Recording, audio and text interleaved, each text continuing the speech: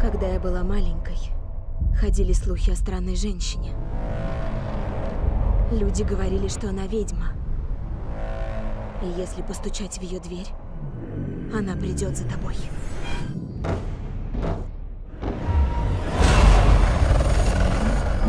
Привет. Привет, Хлоя. Знаю, что у вас в последнее время непростые отношения с дочерью. Она убеждена, что ведьма хочет принести ее в жертву демону. Будь осторожна, Джесс. Темнота окружает ее. Это ты сделала? Я думала, что я тут в безопасности. Хлоя? Вы кто? Она открывает дверь в ад, чтобы завладеть невинными душами. И она придет за мной. Беги!